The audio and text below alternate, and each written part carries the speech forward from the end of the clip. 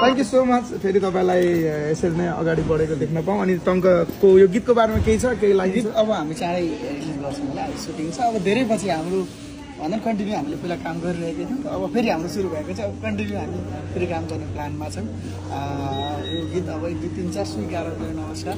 पालजीले नै मन पराएर उहाँकै अन्डरमा यो प्रोजेक्ट भइरहेको छ। एक दुई तिन चार स्वीकार गर्न। नमस्कार। राम्रो भइरहेछ हामी लगभग एक महिनादेखि सुटिङमा छौँ पोखरामा पोखराको सुटिङको क्रममा चाहिँ हामी तपाईँको यो प्लटिङमा आएको छौँ। अनि प्लटिङ अति मन परेको छ मलाई चाहिँ पर्सनल्ली अभिनेता पल शाहले आफ्नो फ्यान फलोवर्सलाई फेरि मुटुको ढुकढुकी बढाएका छन्। नयाँ गीत एक दुई तिन चार क्या ब्युटी तिमी छौ नि यार बोलको गीतको अब सुटिङ हुँदै गरेको फोटो तथा भिडियो सार्वजनिक गर्दै आफ्नो फ्यान फलोवर्सलाई प्रतीक्षाको घडी बढाएको हो। उक्त गीतको प्रतीक्षा दर्शकमा आज फेरि बढ्न थालेको छ भने गीतको प्रतीक्षा निकै ठुलो रहेको छ। गायक टङ्क बुढाथोकीसँगको सहकार्य पल शाहको यो अर्को हो। जुन गीतमा हामीले करिश्मा श्रेष्ठ पल शाहको जोडी देख्न पाउने भएका छौँ। गीतको फोटो र भिडियो यति बेला सार्वजनिक हुन थालेको छ। नमस्कार दर्शकबिन यहाँ सम्पूर्णलाई स्वागत छ आरसिपी खबरमा। नयाँ र ताजा अपडेटको लागि आरसिपी खबर युट्युब च्यानललाई सब्सक्राइब गर्न भने नबिर्सिनुहोला। अभिनेता पल शाहको अर्को गीत एक दुई तिन चार क्या ब्युटी तिमी छौ नि यार बोलको गीत अब चाँडै नै बजारमा आउन लागेको छ।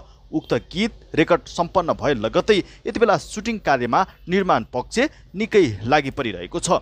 चलचित्र मायावीको काम बिचैमा छोडेर पल शाहले यो गीतमा यति बेला काम गरिरहेका छन्। उक्त गीतमा चलचित्र मायावीकै नायिका करिश्मा श्रेष्ठसँग पल शाहको जोडी हामीले देख्न पाउने भएका छौँ। गीतमा भने टङ्क बुढाथोकीकै स्वर सुन्न पाउने भएको छ भने सम्भवतः उक्त गीत टङ्क बुढाथोकीकै युट्युब च्यानलबाट सार्वजनिक हुने भएको छ। लामो समयको प्रतीक्षापछि पल शाहको नयाँ म्युजिक भिडियोले यति बेला कमब्याक गर्न थालिरहेका छन्।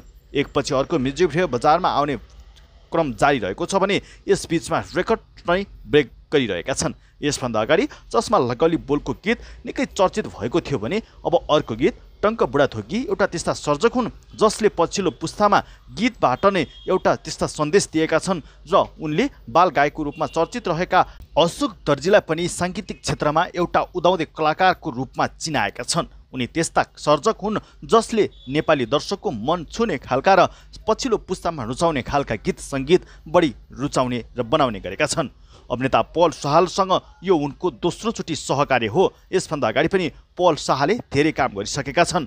अभिनेता पल शाह र टङ्क बुढाथोकीको यो गीतको प्रतीक्षा दर्शकमा आज निकै ठुलो रूपमा बढिरहेको छ। एक दुई तिन चार क्या ब्युटी छौ क्या तिमी? यार बोलको गीत अब चाँडै नै बजारमा आउने तयारीमा रहेको छ। उक्त गीतको सुटिङ हुँदै गरेको फोटो यति बेला पल शाहले आफ्नो फेसबुक मार्फत अपलोड गरेर दर्शक तथा शुभचिन्तकलाई जानकारी गराएका हुन् भने यता टङ्क बुढाथोकीले भिडियो सुटिङ गर्दै गर्दाको क्लिप्स नै यति बेला टिकटकमा हालेका छन्। पल शाहको फ्यान फलोवर्सले उनको गीतको प्रतीक्षा निकै लामो रूपमा गरिरहेका छन्।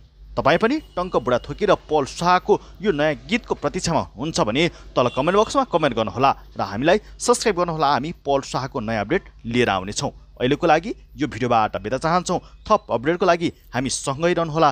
नमस्कार।